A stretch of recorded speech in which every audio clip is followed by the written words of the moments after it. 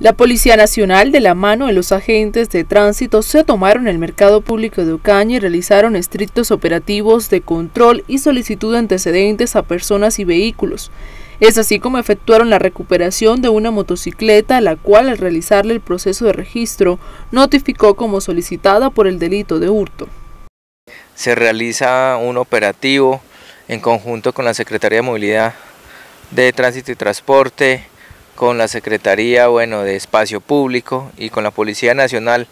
donde realizando estos controles se recupera una motocicleta el cual había sido hurtada días anteriores. Esta es colocada ya a disposición de la Fiscalía General de la Nación para realizar la entrega de, de su dueño.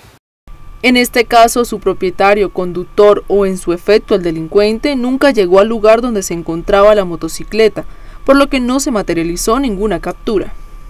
Se nos vienen presentando unos hurtos a motocicleta, pero de igual manera se vienen recuperando, hemos recuperado varias motocicletas, las cuales habían sido hurtadas aquí en Ocaña y en otras partes a nivel nacional, donde pues han sido transitadas aquí en los diferentes entonces